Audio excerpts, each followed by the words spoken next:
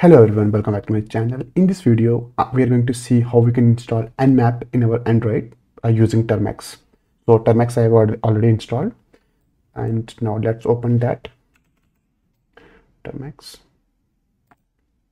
and let me zoom it a little bit.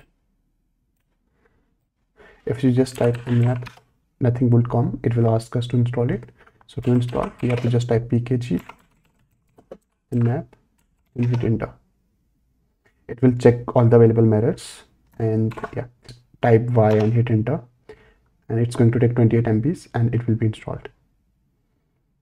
Yeah nmap is installed. Now uh, let's type nmap google.com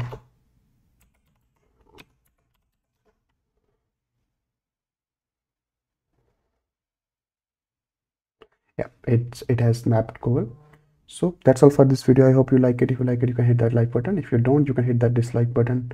And for future videos like this you can subscribe to this channel. Thank you. Bye